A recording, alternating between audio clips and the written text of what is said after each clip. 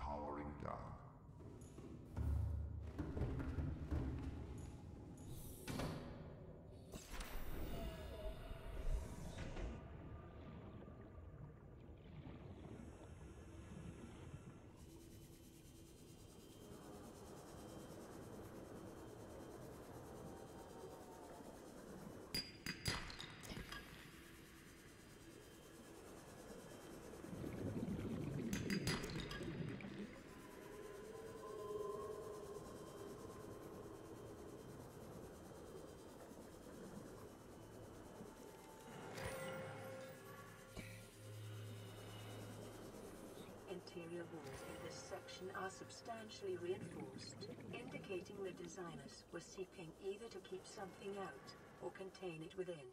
Whatever their intention, it clearly failed. Integrating new PDA data. Residual biological evidence suggests indigenous life forms were brought to this location and subjected to intensive study. Data pertaining to the bacterium is being downloaded. Caution. Detecting atypical fluctuations in blood plasma proteins. A self-scan is strongly advised.